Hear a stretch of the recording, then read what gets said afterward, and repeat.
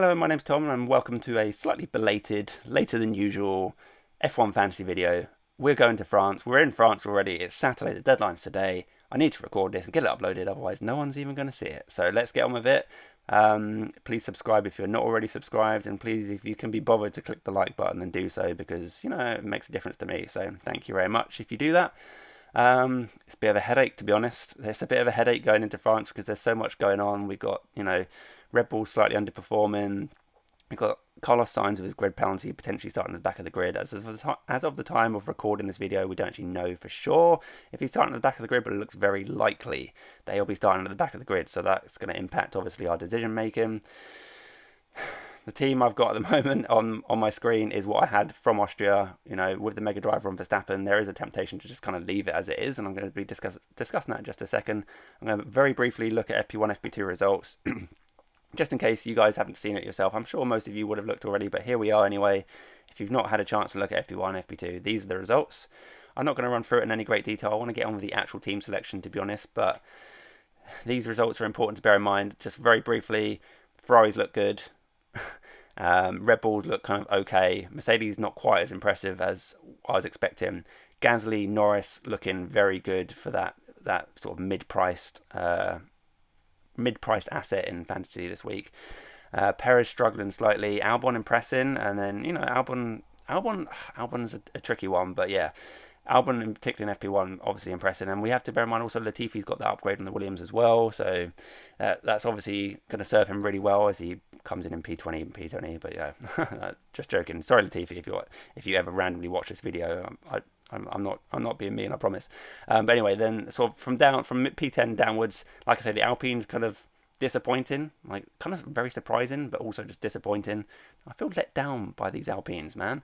But obviously we've got FP3 to come. It is their home race. I don't think the home race thing has too much of an impact, but it should you know it should get some extra support and the support I think can can have a small impact it's very small but it wouldn't really factor into my decision making to be honest um, but yeah and then we've got like the other, the likes of Alfa Romeo just not not looking exciting like likes of Bottas uh, who is obviously a popular pick not looking particularly exciting however Bottas does have a tendency to just randomly score like 20 points even when he looks rubbish so I wouldn't rule out Bottas either even though he doesn't really feature I don't think he's going to feature in my team this week but if you pick him, I think you're probably going to end up with like 15, 20 points, like whatever. Like Bottas just keeps providing. But anyway, that's a quick rundown of FP1, FP2. Let's get into the meaty, nitty, gritty of team selection because this is a tough one this week. So this is my team at the moment. This is um, I haven't made any substitutions, and there is a, just a temptation to kind of just leave it. I've got literally no money in the bank, so I can't really you know, if I can't really like, for example, upgrade Magnussen to Schumacher or Latifi to Albon or whatever, um, a temptation, if I had the budget, for example, would be to move Alonso to Gasly because Gasly's looking really strong. Um, but yeah, eh, there is a temptation to just do nothing, basically. Um, if I just undo that, put Alonso back in, there is a temptation to just leave it like that because I think this team could could potentially do well with Red Bull. Although Perez doesn't look great, I anticipate Red Bull to close the gap through FP3 and then into qualifying with a few setup changes. Um, I do think Perez should be doing much better than what he's doing, and I think he probably will. But even if he doesn't, say Perez has a poor qualifying, like even if he doesn't even make Q3 for some crazy reason, like imagine he like qualifies P11, P12 or something. The race pace in that Red Bull is going to shoot him through like easy overtake points. He should be, he should still be competing in that sort of P3 to P5 sort of area and therefore I do think that Perez is still a good shout, and therefore Red Bull themselves are a good shout. Um, Carlos Sainz is a big talking point at the moment. Uh, for off the track stuff, don't know what's going on there, but we're more focused about the on the track stuff. Carlos Sainz is he's got this grid penalty confirmed at this, as of the time of recording this as 10 places, but it could be at the back of the grid, and I think he probably will be from the back of the grid. It's almost like if he doesn't take a new engine now, then it's going to happen at some point in the, in the, later on in the season. So you might as well, if you've already got that 10 place grid penalty, just take just go to the back. So I anticipate he's going to be at the back of the grid. How does that impact Carlos Sainz? How does that impact Ferrari? Obviously, it's not great because it means his chances of getting a podium where the main points are is severely limited. It's still possible, but it's severely limited. It's less likely. If you start at the back of the grid, no one else is at the back of the grid, so almost certainly Carlos Sainz won't even bother taking part in qualifying, I would imagine. Um, that means you know from qualifying zero points. It does mean he'll gonna he's gonna get those ten points gained from positions gained because he's almost certainly barring a DNF gonna get the ten points from going at the back. He's gonna fly through all the slower cars. He'll get those overtake points capped off at ten points. But regardless, if he doesn't take part in quality, he's basically effectively starting with ten points just from overtakes. Um, I don't think he's gonna like catch the likes of Verstappen and Leclerc. Probably won't pe- uh, catch Perez. Mercedes, they may have the pace. They Mercedes always like do better in race pace than they do in practice sessions and qualifying. The race pace in that Mercedes is definitely a bit of a dark horse. And uh, will Carlos Sainz catch them? Possibly. So I think sort of most likely scenario for Carlos Sainz if if it's a clean race is he's going to get back to around about the P5 mark. I don't see him getting much further unless there's a bit of chaos. Um, and I don't anticipate there to be too much chaos apart from the heat being an issue, and obviously the heat is, is hot in France, and that could impact, in particular, the Ferrari engines. It could also impact degradation for everyone, but the Red Bulls in particular have been struggling, particularly in a couple of weeks ago in Austria. We had a lot of tyre degradation with the Red Bulls, and they were like struggling to understand what's going on. So are they on top of that? Are the Red Bulls on top of that? But who knows? So there are some factors which could lead Carlos Sainz to improving from um, P5. But if he does finish P5, we've got we've got some great data from Canada here as to what what would happen. So we had Leclerc start all the way back at the grid. Well, P19 effectively was, wasn't it? He did take part in Q1, I believe, and then sort of just sat out of Q2 onwards from his uh, engine penalty. And he finished in P5, and you know you can see here positions gained got the 10 points. Like I said, it's going to happen for Carlos Sainz, providing he finishes the race. And he came away with 23 points. If you're, you know, 23 points, Carlos Sainz is costing 17 million. if you come away with 23 points, you're not unhappy. Obviously, he's in like the best car or one of the best cars. So you kind of want to get him in this category up here where you can see like Verstappen, Sainz, Hamilton in the 40 sort of point region. I just don't see it happening for Carlos Sainz, but still, if he managed to get sort of between 20, maybe up to 25 points, I haven't worked out exactly, but you can see rough idea here. 23, for example, Carlos Sainz. I think then you can be kind of happy with that. So you could you could argue that you want Carlos Sainz and team. You could just go back to kind of the template of you know the Perez Sainz. Where are we? Um, bring in Carlos Sainz. You could end up with a kind of what I would classify as a template build. Um, going with this, if you think Carlos, if you're happy with Carlos Sainz kind of being having that ceiling of around 20 odd points, um, you could also, if you've got the budget and you, you think Pierre Gasly's looking good, then we could bring in Pierre Gasly. You could, uh, could have a team like this, and I'd be quite happy with a team like this, to be honest. Um, if you if you're reluctant to pick Sainz because of what's going on the penalties and everything, um, I think a great a great pickup in his place would be Lando Norris. Because if we look at what's going on um, in the practice sessions, both Norris and Gasly here, P5, P7, P6, P7, both of them have shown consistency in the past, in particular Norris, but Gasly to some extent as well has shown good consistency um, going from the practice sessions into qualifying and then general race pace. And we, how many times have we seen, in particular Norris and Gasly themselves, in the over the last season and a half or so, where they just have those races where they're just all by themselves. The cameras just basically never pick them up um, because it's just boring and there's no, you know, there's no will to will because they're just all going around themselves, going around in circles by themselves for like the whole the whole Grand Prix, and they're just finishing P5, P6. It's a very boring race in terms of watching um, from a, like a viewer perspective. So, like I say, the camera doesn't even really focus on them, but they just quietly go about their business and they end up P5, P6. I can definitely see from either one or both of them this week. I could see we could be seeing Lando Norris and Gasly just a fairly comfortable um, kind of a comfortable race for them. I don't know. It's especially with Perez possibly being out of sorts. Carlos Sainz starting the back of the grid. Mercedes not quite as fast as we thought they would. That gives me that gives me reason to believe. You know, you throw in a, a DNF or two, and suddenly Norris and Gasly are going from a quiet race in the P6 region up to P4, P5, dare we say. So yeah, I do think that Gasly and Norris potentially could be great value. Keep an eye on FP3 on them because you know we could I could be looking at a team kind of like this if I if I fancy something like that. Um, that aside, you know, like I say, Carlos Sainz is still potentially a good option. I could see going with a team like this. Um, this obviously drops Max Verstappen. I do think I do. I'm, I'm, tempted, like I say, to keep my team as it was. If I just um, undo all and go back to my original team, you can see I'm kind of tempted to keep Verstappen because it looks clear to me with, like I say, with Perez struggling slightly and Carlos Sainz at the back or at, potentially at the back it looks clear to me that Verstappen and Leclerc are going to be P1, P2 on qualifying and likely to be racing out for the race win.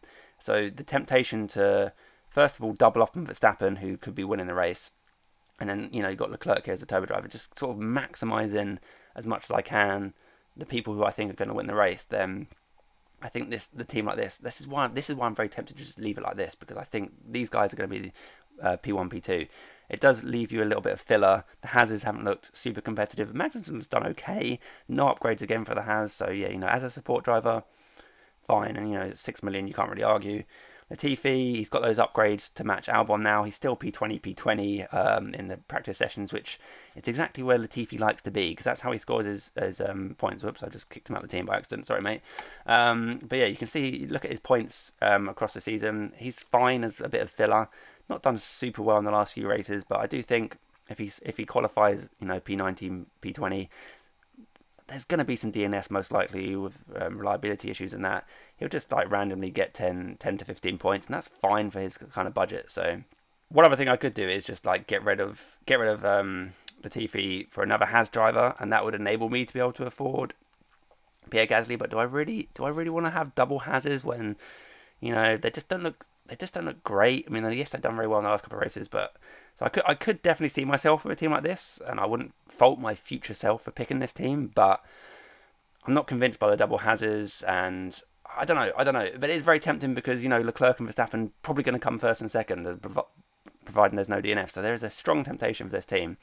A part of me also has this kind of F1 fantasy fatigue over the last few weeks, apart from where it went well last week in Austria with the Mega Driver the amount of analysis that goes into it, looking at the practice sessions, trying to predict who's going to do well, and then it just gets blown out like in Silverstone before you even get to turn one, and half the team's DNF before you've even like switched the TV on, sort of thing. So part of me just kind of wants to go back to the kind of tried and tested template, um, which is you know the the trio of Leclerc, Perez, Sainz, which I've discussed already. Kinda get rid of Schumacher, then we can bring in someone like Pierre Gasly as an example. So I could very much see a race just go. I could see myself going with this team. If I'm not completely convinced by Carlos Sainz's point potential, then I could see myself dropping down to Norris and going with a team like this. This is pretty template. Um, yeah, if I if I want to just kind of you know because there's so much there's so much to take into account and you can take different risks and you can make a whole there's so many different teams you can make. I kind of want to just almost part of me just want to revert back to this template build. Like I say, it just it looks it looks so nice with all like the double Red Bull, the double Ferrari, Gasly, who I think is just going to do well. You know, he's got that tendency to be consistent and have that nice quiet race where he just goes about P5, P6. Cameras don't pick him up, and you know picks up 20, 25 points or whatever. Like, uh, there's a strong temptation to go with a team like this and I'm kind of leaning towards that way as well. Like I'm leaning like very much in so many different directions. I'm gonna fall over if I lean over anymore, sort of thing. But Carlos Sainz, like I say, I've already spoken about. Kind of a ceiling on his points potential, so I do think it's tempting to just bring in Norris instead. So I do like a team like this, definitely. And then you could even afford to upgrade someone like Magnussen to potentially Albon. You could, I could end up with a team like this. But then the more the more I like tweak it like this, the more I'm all of a, all of a sudden moving away from the template. But the template, the template doesn't quite work because of Carlos Sainz this week. So this, if Carlos Sainz didn't have a grid penalty, I think I'd definitely be on this template build. But it's a tough one. It's a tough one. There is one other thing uh, to, worth considering is is putting in George Russell just for that reliability issue. Um, doesn't mean it doesn't mean we have to sort of drop out the likes of um, Gasly and Norris, and then I'd personally not have the budget to get to Albon, so I'd be reduced back down to like a Latifi or whatever. And I could have a team like this. This team also looks really good, which is why like basically every team I'm putting on right now just looks really good, which makes it really hard to, know what to pick, to be honest. Um, but I'm very happy with a team like this as well. You know, you got the double up on, you got Red Verstappen, who's likely to win the race, covered. You're not doubled up on him with my, you know when I had with the build of Verstappen plus Red Bull, and I do think Verstappen is likely to come first or second, so it makes me tempted to go that way. but at least if I went, you can't have. Oh, this is the problem with fantasy. Everyone wants everyone basically. There's just a temptation to you know, oh, I want him, I want him, and you keep chopping and changing your team because oh, he looks good and he looks good. You can't have everyone. Okay, there's only six slots in this entire team, so it's you know everyone take a chill pill, calm down. Um, um, maybe it's just me that needs to calm down. But yeah, um, this team looks good. Russell, keep an eye on what happens in FP3. I, I think Mercedes aren't quite as um, fast as I expected them to be, but Russell has just done so well across the season. I've spoken about reliability already, and Mercedes, um, from what I can see, appear to be the most reliable team. Uh, famous last word, double DNF coming right up. But um, no, I do think Russell is just a safe bet. Obviously, you can't turbo drive him, but I think the best turbo driver this weekend is Leclerc anyway. Um, and then you get Perez, who hasn't done super well in the practice sessions, but I, like I say, I anticipate him to improve through FP3 and qualifying and the race pace itself. I think Perez should have a, a fine race. So there's a temptation also to go with a team like this. There's just there's so much to decide, and I haven't made my mind up as yet. So FP3 coming up, and then it's a big decision time. Um, I'll try and be active on Twitter later because I know uh, it does it does have a tendency. If you not only have about 500 followers, I think on Twitter at potpanman F1. By the way, if you haven't already followed me, I do try and stay active in, the lead up to the deadline. But forgive me if I can't like answer everyone because it does go a bit crazy. But I will try and like you know I'm going to post my team later on my YouTube community tab, for example. So I know I've talked talked through like two or three different variations of teams I'm looking at at the moment. Like this team looks solid. We can go back to the team like this, and like I say, leave it as that. Leave the Alpine driver in there. Like they, like I said, they haven't looked great, but Alonso's looked okay, and I could just leave it like that. Like there's a huge variety of teams to go for is there any right pick at the moment? I don't know. I mean, you could get you could get the super calculator out and just try and do all sorts of calculations, but I don't think it's worth it just because of the high variance that we're dealing with. I think we just need to kind of predict who we're gonna who's who's gonna be the most consistent, reliable picks, to be honest. And I just want to go for a kind of a safe a safe team this week. I want a safe team. That makes that's why I'm kind of leaning towards that template build. I'm also leaning towards the Russell build because he kind of makes me feel safe. George Russell, make, George Russell, the kind of guy that makes you feel safe when picking your F1 fantasy team.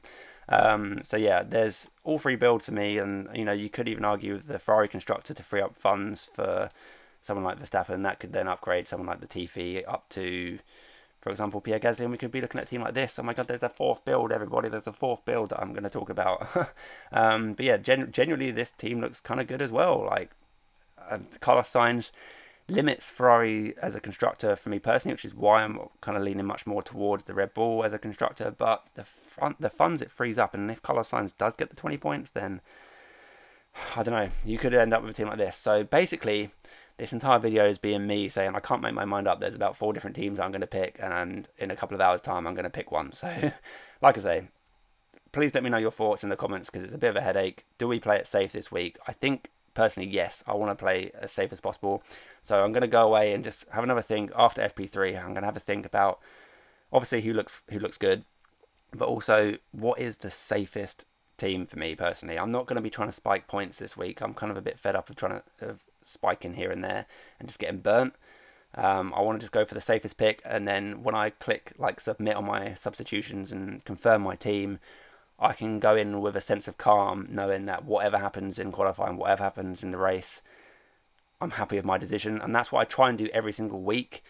There's a couple of race weeks where it's not quite happened, and I've come away thinking, oh, I, like I've clicked to submit, and I immediately sort of regret my decision. Um, I don't want that, and I think, yeah, if you can like confirm your team and just come away with a sense of, yeah, I'm happy with my decision making, I'm happy with my team. Whatever happens, happens, and then it helps you also deal with the emotional trauma of when you get a race like Silverstone and everything goes tits up. So, yeah, um, let me know what you th- let me know what you're thinking in the comments on Twitter later yeah, let's get a conversation going. Thanks very much for watching. I'm sorry I'm not a bit more clean cut, but like I say, it's a bit of a, a bit of a head scratcher this weekend. So thanks for thanks very much for watching, and I'll catch you in the build up for Hungary in a few days' time. Thanks very much. Um, good luck, everybody.